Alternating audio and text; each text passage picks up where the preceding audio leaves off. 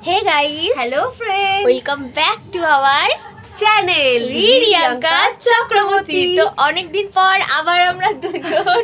তো দেখ- দেখে বুঝতেই পারছ যে আজকে কি? আজকে সরস্বতী পুজো আমরা সকালে উঠে সব কাজবাজ করে আমাদের মানে পুজো অনেক আমি ভিডিও করেছি যদিও কিন্তু ভিডিওটা শুরু করতেই পারিনি কারণ কাজবাজের জন্য। তো এখন শুরু করছি। তো দেখো ভিডিওটা কেমন লাগে অবশ্যই দেখো এ তো সকাল সকাল শাড়ি পরে নিয়েছে কিন্তু আমার এত এনার্জি নেই। যাই হোক। এটা আমার ফাইনাল লুক বছরে একটা দিন এরকম করাই যায় কষ্ট এটা করাই যায়। একদমই আমার ফাইনাল লুক নয় হ্যাঁ? আমি এটা শুধু সে তো জানি মেকআপ ছাড়া চার আঙ্গুল তো মেকআপ করাটা প্রয়োজন না আমার ও আজকে বলছে যে ব্রাইডাল সেজে বেরোবে।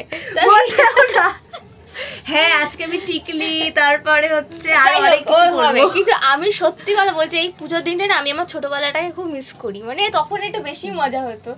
যাই হোক আজকে বেশ ভালোই দিনটা কাটলো সকাল থেকে। তো এখন তো আমি পুরো ল্যাথ খাব মুভি দেখব।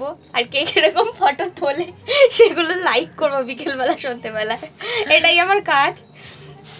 তো চলো, দেখতে থাকো ভিডিওটা। কালকে আমি ভিডিওটা শুরু করেছি, কিন্তু কি আর করব?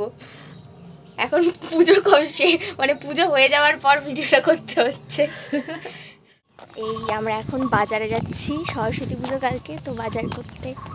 মা আর আমি। ভালোই গরম পড়ে গেছে। চলো বাজারে গিয়ে দেখা হচ্ছে।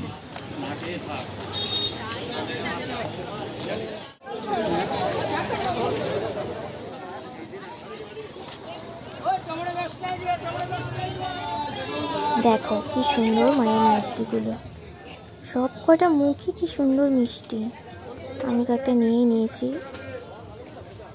তো কাল পুজো ভিডিওটা একেবারে কালকেই শুরু করব তো দেখতে থাকো।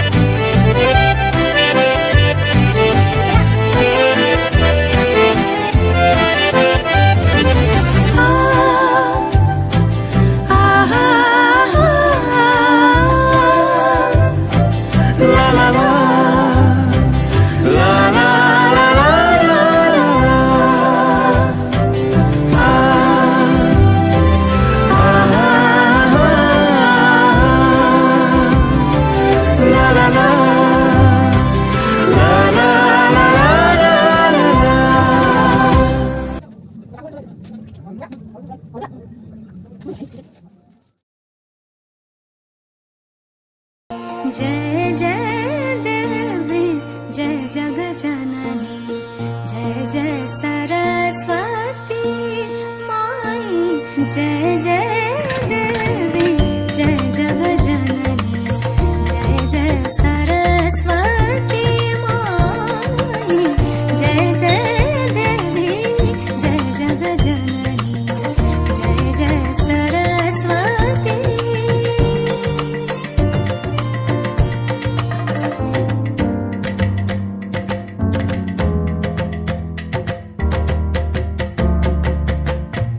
जय भवानी जय शर्वाणी